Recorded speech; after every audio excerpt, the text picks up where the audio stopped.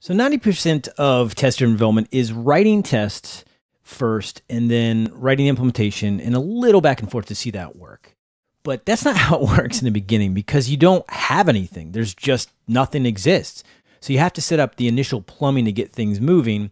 And as your code base grows, you're going to repeat this step over and over. In the case of object oriented programming, that would be creating the classes, exposing the methods, things like that, and making sure that all the wiring set up if you're using the dependency injection framework, etc.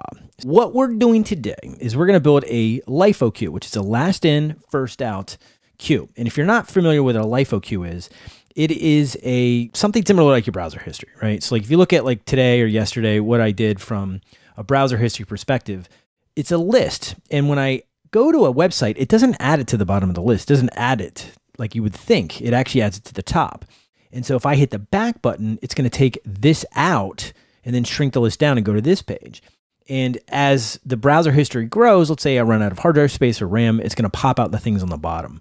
So that's kind of a LIFO queue. It's that you whatever you add to this list actually goes to the first part, and then whatever's at the end gets popped out. So that's a, that's a LIFO queue. So the first thing we need to do is actually examine our requirements and think, right? And think, what are we going to actually create?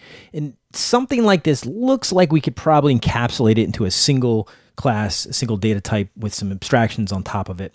We have to create the actual class first to get started. So I'm going to do a folder of source, and then we'll create our queue class in there.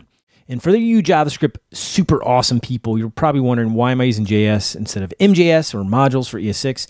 That's strictly because the Mocha version that I'm currently using at the time of this video does not support watch mode with MJS modules. Okay, so I have a LIFO queue and it doesn't really export anything yet other than itself. so we'll just say it exports itself and then we can import that. We'll just say const array equals new LIFO queue.